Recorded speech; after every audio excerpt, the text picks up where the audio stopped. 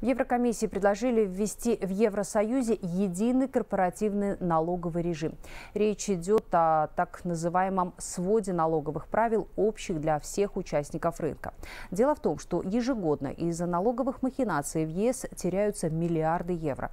Новые правила помогут привести к большей прозрачности, особенно в период, когда Евросоюз нуждается в налоговых поступлениях для восстановления после пандемии COVID-19. К тому же нынешние системы корпоративного налогообложения положения в странах ЕС не отражают долгосрочных приоритетов развития евросообщества, заявили в ходе пресс-конференции в Брюсселе члены Еврокомиссии. Они уверены, что нововведение увеличит экономический рост и поможет создать более справедливое и устойчивое общество.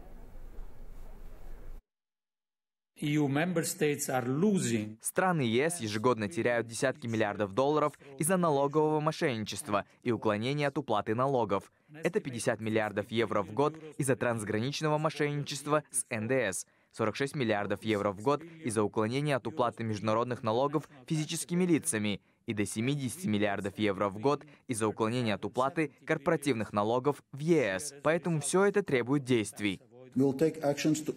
Мы примем меры для обеспечения эффективного налогообложения путем повышения общественной прозрачности налогов крупных экономических игроков и борьбы с неправомерным использованием подставных компаний для целей налогообложения.